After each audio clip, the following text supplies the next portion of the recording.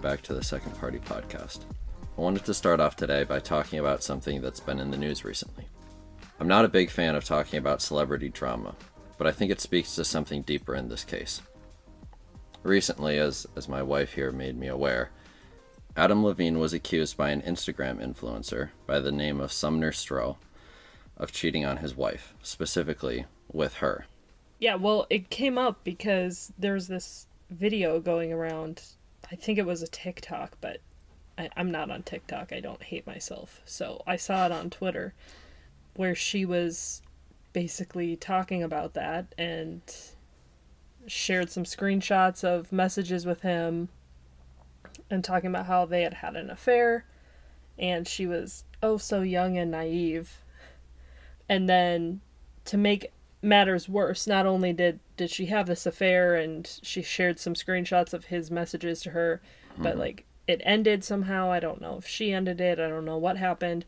But she was saying it ended and then several months went by and she got a message from him which is what she was sharing a screenshot of mm-hmm. where he basically was asking her for permission to name his soon to be born son after her Born by his wife. by his by his wife who the two of them had an affair on nope that's not the right phrasing Against. against whatever sure.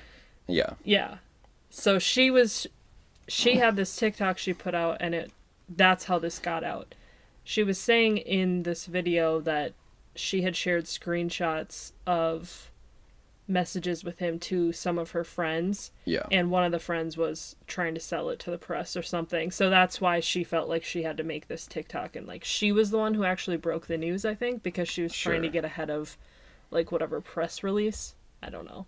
Sure. But yeah. that that's how I it was going around Twitter the other day. Yeah. So, I mean, it- let's just get the obvious out of the way. If this is true, both Adam Levine and this Sumner Stroh woman are kind of terrible people, and they betrayed his wife. They both knew her or knew of her. They're both obviously culpable. They're untrustworthy, they're terrible, and they're crazy, each in their own specific little way. Her for sending screenshots to one of her friends, and him for wanting to name his child after her, which is absolutely bananas. And both of them for having an affair. But yeah. But one of the, one of the parts of this that I thought was was so interesting and why I kind of wanted to talk about it has to do with a part of the story that is not really getting headlines or not being talked about from what I've seen. And that's that Adam Levine's wife happens to be a Victoria's Secret model. okay. I don't know very much about her at all. I I don't f- I know nothing about her except that she was in that one Adam Levine music video, Maroon 5, whatever. Yeah, so I don't really know much about her either, but I think that the fact that she's a Victoria's Secret model, which is, you know, by by most general societal measures, that's like some of the pinnacle of like good-looking types of people, right? Oh, sure. Like if you're a celebrity, that's like Yeah, like th- the lofty goal what everyone wants. Like Yeah. Victoria's Secret model kind of thing. I mean literally the word model is something to aspire to. yeah. Okay. So he's married to the type of woman that at least presumably physically which by the way I, I don't know that I've ever seen a picture of her, but I'm just assuming given Oh. the position. Except in the the music video. Okay, sure. I, I don't remember it at all. Okay. But regardless, she's in this position of lots of value being sought after, and yet he's still cheating, which I found very inter or he's allegedly still cheating, which I found really interesting. And this kind of runs parallel, or has a lot of parallels to another story that I heard about recently.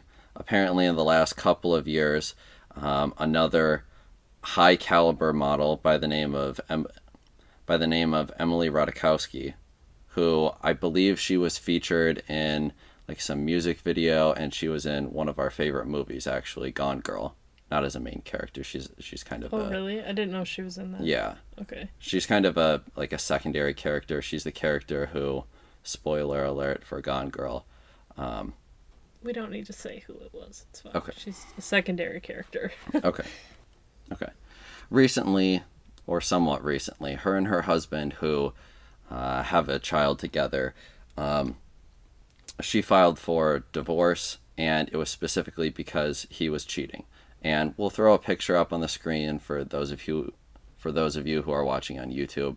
Uh, I don't think that he's a bad-looking guy, but many online will say like, "Oh, he's." this is an example of some very good looking, attractive woman dating an ugly guy. Wait, and she filed for divorce Yeah. because he was cheating? Exactly. Yes. Okay. So another instance where this this top level in terms of professional model is being cheated on by somebody else, but now in this case it's even more uh, there's even more of a popularity or monetary imbalance here. Is he just it, like a random person? He's not like a celebrity on his own or Uh, he's in the Hollywood industry. Um, he actually helped produce um, another another movie that we really like with Robert Pattinson, uh, Good Time or Good Times. Oh, okay. Uh, so he is in Hollywood, but he's not like a Yeah. like big name person like He's- Adam Levine. he's not an actor. He's yeah, I think he he like owns a production company or he- he's more on the production and casting side of things. Oh, he he just looks like a like a normal guy. It's not like he's bad looking. He's just he's kind of normal looking to me. Yeah, I mean, he he's a normal looking dude. Looks like he's decently tall. Has a fine, fair physique, right? So, but people are saying because of the stark differential, there many online are saying like, "Oh, he's like an ugly dude," and people are making TikToks basically saying, "Oh, if Emily Ratajkowski, if this attractive model type personality, okay, can't get a man and have him not cheat on her, what am I supposed to do, right? I thought this was kind of funny because there was kind of an embedded premise of, oh, if we can make it so that this person can't cheat, then they won't. And I thought that was very similar to kind of what Bill Burr was talking about in one of his specials, where um, he he was going back even further than we are, talking about Tiger Woods cheating on his wife, and all of pe- all of these people, all these talking heads on TV ridiculing him for doing this, and he basically said, "Yeah, well."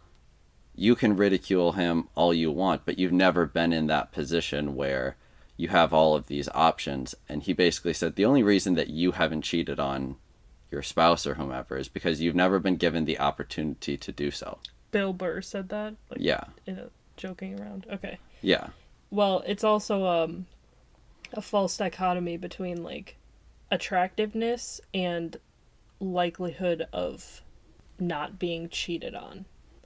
Well, I mean, I think there there definitely is some some tie that one could make there because I'm sure if you're more attractive, you have more options as a generalized rule, No, I'm saying right? not being cheated on if you are attractive. Oh, sure. like a false dichotomy between someone being attractive and the likelihood that their partner or spouse will not cheat on them.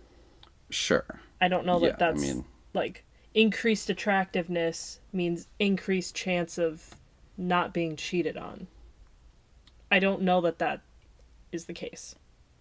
Okay, yeah. But implicit in those comments you're talking about is also an assumption of Yeah. that. Yeah. Actually, in response to Bill Burr's comedy special, Jordan Peterson kind of commented on that and extrapolated it out a little bit further to, you know, if you take somebody who is harmless or they have no ability to do something wrong in a given instance, and then they don't do something wrong, he said there's not anything virtuous about that. Right. And he made the case that what you, what's actually virtuous is having the ability to do something, having the ability to act or do something negative and not. And I think that that's I think that that's probably right. So taking that and applying it to a couple of these instances, I kind of think about like obviously this is a bad thing to be doing. Right? Cheating. But yeah. But it really demonstrates a lack of loyalty among other things. Oh, yeah, for sure. Of like the utmost kind. I mean, this is an instance where you've you've literally supposedly committed yourself to a person and Mm-hmm. entered into like a covenant relationship with them. Mm-hmm. And you're just throwing it out the window. Yeah. I, I think it's like maybe maybe this is like the principal instance of lack of loyalty and, and betrayal. Right? At least that we see like nowadays. Cheating? Yeah, cheating on Infidelity? your spouse. Yeah, Okay. infidelity. Yeah, quite quite possibly. Because what other societal institutions do we have that are as in principle or in theory binding and covenantal as a marriage? Yeah. So I was thinking if if there's never been an instance where you could be disloyal in some way, then can one really say that they are loyal? So basically taking what Jordan Peterson was extrapolating from Bill Sure. Burr and and applying it to loyalty instead of virtuousness or goodness. Sure. I mean, what would that mean? Like, not have the ability to be disloyal to someone? So loyalty can apply to a whole litany of things, right? Loyalty to a spouse, loyalty to a set of ideals or principles, loyalty to your country, what have you, right? So you could take somebody who has never had the opportunity to be disloyal to their country. And I guess what I'm asking is do you think that in that situation, can we say for certain whether that person is or is not loyal, specifically when applied to like one's country? And I guess what I would say is like we don't really know yet. Okay, sure. Yeah, that makes sense. So I think loyalty is only truly tested when you have a chance to be disloyal, right? Yeah. That makes sense. So we've been talking a lot about like loyalty here. Right? And I think it's I think that we should clarify a little bit of of what we're talking about. So let's read through the definition of loyal. It reads steadfast in allegiance to one's homeland, government, or sovereign, or faithful to a person, ideal, custom, cause, or duty. So from this standpoint, I think something that's that's key to recognize about loyalty is that it's not necessarily a moral good in and of itself. Right? Because you could be loyal to something bad. Like I'm sure that there were plenty of Yeah, loyal. Nazis, but this is clearly a bad thing, right? Yeah, right. But it does seem to me at least that some degree of loyalty is necessary for virtue. Because Be- if because you have to be loyal to your values? yeah. If you can't remain or if you aren't loyal to your values, then how can you be morally good in that Sure. in that sense? But being loyal to your values by itself is not necessarily virtuous. Because Correct. If your ba- if your values are bad, then Correct. So loyalty is not necessarily good in and of itself, but it does seem to be, at least to some degree, a prerequisite for virtue. or a component of Yeah. or necessary for continued true virtue maybe. Yeah. Yeah. I think because of this, you know, when we look at that definition and we say that loyalty is kind of a prerequisite for virtuousness or goodness, I think something that we've really lost in our society is seeing loyalty as a prerequisite for a relationship. And when I say a prerequisite for a relationship, I don't just mean like a romantic type of relationship. I'm even talking about like friend relationships. I guess it's somewhat situationally dependent because and it depends on how exactly you're applying the idea of loyalty in the in the exact instance because what does loyalty to a friend mean? That's a good question. Like that you're not mean- gonna what? I mean, I think it would be It doesn't just be that you always support them and yeah, agree well, with them all the time. Well, I think that it would. I agree that it's not that you would always support and agree with them, but I do think that it would be. I would phrase it something along the lines of you are always giving advice and looking out for their best interests. So As they opposed to turning against them or as opposed to even something as simple as just having a friendship dissolve or not being friends with them anymore. Like if a friendship fades away, is that both parties were disloyal to the other because they just they didn't keep perpetuating the friendship? I wouldn't say that there is loyalty or disloyalty. I would say it's loyalty neutral. When I say that you're looking out for the best interests of the person, I mean, like, let's take, for example, if I had a friend come to me and they were going to do something like that wasn't good for them or that was self-destructive right they they came to me and they're like hey i think i'm going to take up smoking I don't know what friend comes to you and says that, but if they let's just let's just say that they did. If you said, "Oh yeah, like I'm I always support you. You're great. You should do what you want. Live your best life." These things that we hear nowadays. I don't think that that's actually a like truly what is that? I think it's rain. Sorry, we just took a pause. It uh, it started raining here, so sorry if the audio quality just uh, got a lot worse It there. just kind of thunderstormed out of nowhere. It's There's raining very hard, Nothing in the forecast, Out of nowhere, and it yeah. really started coming down. and it's coming down hard. And believe it or not, we don't have a uh, professional tier audio studio. Yeah, perfectly insulated, a dedicated room underground. No, Anyways, what were we talking about? I think we were talking about friends and Loyalty to a friendship. loyalty What to a friendship. like? Yeah, so I think it would be you'd be showing loyalty to that person, to that friendship, to say, no, this isn't good for you. This isn't in your best interests. Right? Because the ultimate good or the ultimate, yeah, the ultimate good for that person is to not smoke. And you should be allied with that, and you should be loyal to that, the good of the person that you claim to care about not pleasing Sure. them in the short term. I guess I also see it as like loyalty is kind of the opposite of betrayal. So not Mm-hmm. Not betraying someone's trust would Yeah. be being loyal to them. Yeah.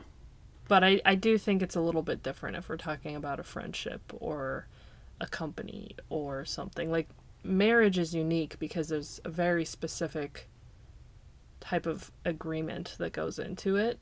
hmm And if you're cheating on someone, like that's a, that's a very obvious, direct, tangible way we can say you are being disloyal to them. You are breaking that trust, breaking like that that covenant. Yeah, I think it's interesting that like the betrayal side of things in almost all instances that is like a moral wrong. Right? It's a form of lying. Betraying is oftentimes. It's not necessarily lying, betrayal. Like it's betrayal if you break someone's trust, right? Like if they confide in you about something and you you share it with someone you shouldn't or I guess I would say that there's like an implied social contract there to not share that thing. Now, that's fine. That's that's n- nowhere close to like a marriage contract. I know, a marriage covenant. I'm not saying they're they're equally bad. I'm just saying betrayal is almost always like I, I would contend that betrayal is almost always morally on the bad side. Well, and I think I think part of loyalty is predicated on you, you kind of touched on this earlier with trust, but on like honesty as well. Yeah. And being forthright with like your your intentions and things. I think that, you know, to to understand true loyalty or where someone's true loyalties lie, you have to understand who they are. Because when I understand you, I understand there's a hierarchy of loyalty, right? So between us, like there's at the top is like, okay, I'm loyal to God, then I'm loyal to my spouse, and then I'm loyal to, you know, my, let's say, country, and then I'm loyal to my company, and then Not your family anywhere in there. I'm just throwing out generalized categories. And somewhere in there there's there's friends, right? So you kind of have to understand that hierarchy of loyalty with someone. I th- I think that that's something that's seriously lost in our society today. Like I see I see people all the time and they have friends that like they themselves will say, "Oh yeah, like this person kind of like that you can't trust them with a secret or they talk a lot or they're going to share this thing or I wouldn't trust them with my whatever. And to me that's like it it really astounds me because I see loyalty as just like a prerequisite to to any type of relationship. At least some degree of loyalty. Yeah, and and like if you're going to be a close friend, like think about a think about the couple of really close guy friends that I have. Okay? They are unbelievably incredibly loyal friends. Yeah, it's like you call them up at any any time. Like they'll be there for you if you Yeah. need, if you need someone. Yeah. and they're going to tell me what they think from a from like my best interest standpoint. They're going to be brutally honest with me. They're they're not like yes men. Yeah. They're just going to be clear. And that's something that I just I see I see people so much nowadays having these friends that are just always quote unquote supporting them which just says, "Oh yeah, like do whatever it is that you want to do in this very moment." Like that's what the whole yes, queen, whatever meme is, right? Oh yeah, go live your truth or the the what's the new phrase? Uh, live your best life. Like live your best life is not speaking to, "Oh yes, have have a life full of meaning and make sacrifices today for the betterment of yourself in the future and always be loyal to your friends. Like that's not what that is speaking to. That's speaking to the YOLO impulsive pleasure that somebody wants to be validated about in a given moment so that they can make a bad decision and not feel quite as bad about it right now. So I guess I'm contending that we have an epidemic of disloyal people and disloyal friends. There's a serious scarcity of loyalty, and that's something that Yeah, I I think don't- we, we ought to bring back. I don't know that that's new. That's just like human nature. I That's you know been around as long as time has been around. I'm I'm gonna play devil's advocate. I think that loyalty has significantly gone down recently.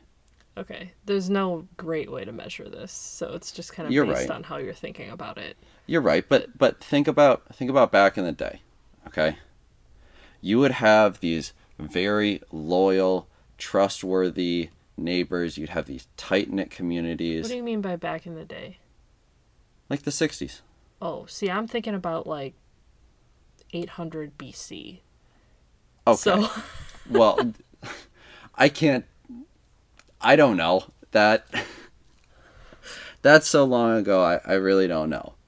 I'm talking like, like back when our parents were, were young, like in the '60s, the '50s to the '70s. In that time, you had very tight knit church communities. You had people with very loyal friends. You had especially in in friendships i think people would like call each other out on things a lot more. I think that there was not all of this this betrayal and maybe some of it is because your ability and your reach to get other friends was so much lower right like you had a reputation in It town wasn't the internet. of being disloyal because of that people were you know motivated to be more loyal but Yeah, I don't know. I regardless it's hard for me to say because I wa- I wasn't there and I don't know how you would Sure. like empirically measure that. It, like it's that's such a subjective thing about what you ex- have or haven't experienced. I don't know how you'd Yeah. measure loyalty over time. I guess my point is just it's not by itself a new phenomenon. Sure, I could I can see that. I guess how's this? I would say then that people ought to have loyalty as a priority in relationships, whether that be friendships or uh, romantic relationships. Loyalty should be substantially higher as a priority, if not a prerequisite, in my opinion. And people should maybe not feel so good and virtuous themselves for being oh so loyal if they haven't actually had an opportunity to be disloyal. Yeah, Is that another? yeah, that's a good point. You know, you can sit here and, and say, "Oh my gosh, I would I would never cheat on my spouse and I would never blah blah blah whatever." And it's like you can really mean that and that can be true. You really never would. But mm-hmm. in another sense, until or unless you really get the op say an opportunity to do so mm-hmm. and you look that opportunity in the face and you actually come to a fork in the road and you choose the right the right one mm-hmm. like that's when your your actions confirm what you actually are saying you believe Yeah, that got me thinking about. Um, you told me a story recently where you went to see uh, one of your friends, and they told you that one of our kind of less close friends or acquaintances was pregnant, but then she said, "Oh, she's like but you i don't know. I, I, didn't, tell, tell you. Don't you don't Yeah. know this, whatever. And then I had seen them. I was going to see this whole group the next day Mm-hmm. Um, for a, a baby shower, and I saw yeah this other couple that was like That was was pregnant. pregnant, Yeah. and it was very brand new. And like I get from what I knew, no one was supposed to know. Mm-hmm. So I was like, okay, I guess it's like I don't know. so you acted like you didn't I was know like, I guess I have to act like I don't know. because your friend told you.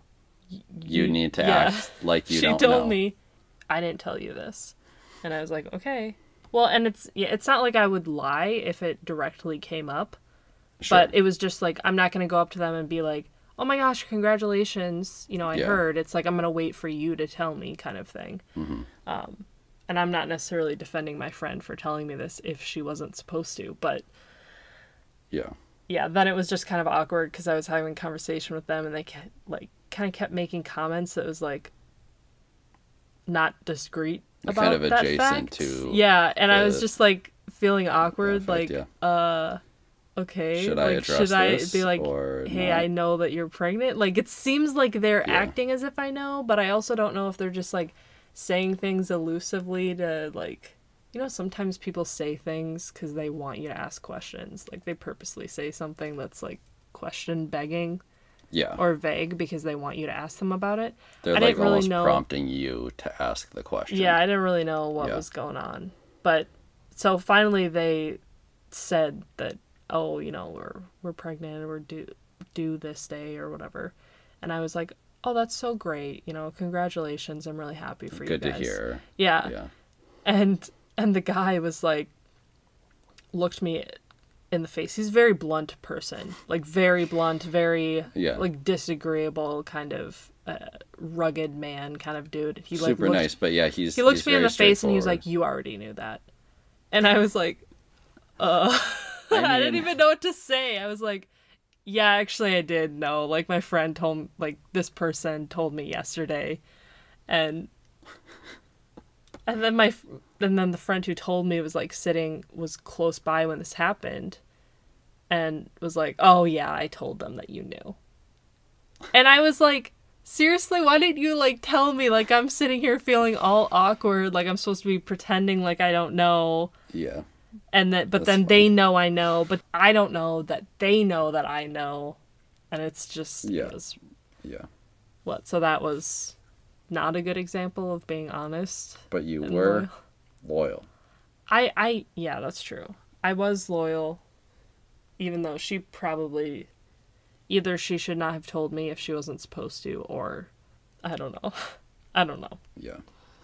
You know, I was thinking too about I don't know if I've talked to you about this, but in my first job, my first like W two type job, um, I wasn't having like a super great time. I was, you know, got the job in high school. You know, a typical type of food service job that that you get as your first job, and uh, kind of wanted to quit and go somewhere else. But I thought about it, and I thought, man, you know, like I've really worked with these people for a while, and I kind of built up a relationship with them, and uh, you know, I don't want to quit on them, and I want to remain like kind of loyal to the company. It's only so much longer jumping ship, trying to go somewhere else. It seems kind of, you know, disloyal. And I thought, and I continue to believe, I'm I'm really happy that I did this. I stuck around at the company, even though I probably could have gone somewhere else to make some more money, but I really felt like having one job on my resume, having been there for like over a year, year and a half, something like that, would really demonstrate like a loyalty or a dependability, and that I wasn't just going to jump ship at some other point. And um, you know, it's funny, even to this day, um, like one of the one of the managers, the person who hired me on at that job, uh, I'll we'll still go back in there every so often, and they'll recognize me, and like they'll they'll manage or comp our meal and stuff. Yeah. That's the best when we get Yeah. free meals. And I just think like yeah, maybe that would have happened even if I had left six months earlier or something like that. But I look at stuff like that and I think re- real relationships can really only be built off of a structure of loyalty, of that dependability. Right? If you're going to leave on a whim, then how am I going to trust you here? And I think that the relationship that I have with my old boss, my old manager, even if it's even if we don't catch up a ton, I think that loyalty speaks volumes, even years later. That's what I've seen at least. So, shame on Adam Levine. Shame on his mistress. Shame on Mr. Average looking dude who cheated on his model wife. Is that the that's the conclusion? That and I think that loyalty should be a prerequisite to relationships. I think that should be something that people are looking for and putting up as kind of a barrier to entry for relationships with them, whether that be friendships or romantic relationships, business relationships, anything like that. I think there needs to be some degree of of loyalty that all of those are based in. With that, it's getting late. Recently, I've been musing about you know, high school graduation parties. A little while back, we were going to a bunch of them, and I remember thinking to myself, and, and I held this position when I was graduating high school as well, that high school graduation parties are, are kind of stupid in my opinion. At least in the type of community that, that I grew up in. It was basically an expectation that everyone was to graduate high school. Now I went to a, a smaller school that was you know pretty rigorous, so the people I was around you know ha- had an investment in it, and that was expected of them as well. So I recognize that this isn't necessarily true in all instances, and for some it, it definitely can and should be a celebration, but at least for those who are going to go off to college or who it wasn't, you know, difficult graduating high school, I, I don't really understand why we celebrate it with this big party. And then, ironically, the, the accomplishment of graduating college, which, at least in my opinion, is for most people substantially more difficult and substantially smaller portion of the population actually completes, we have little or no celebration apart from just the, the standard ceremony. So, yes, all that to say, I think that we should do away with high school graduation parties, at least in most instances. Maybe celebrate things that are difficult accomplishments for the person who we're celebrating with. But that's just what I've been musing about. Thank you again for listening. You have any thoughts on loyalty or high school graduation parties, anything else, we'd love to hear them. Feel free to send us an email at secondpartypodcast at gmail.com. We'd love to address it. Thank you again. Have a good night.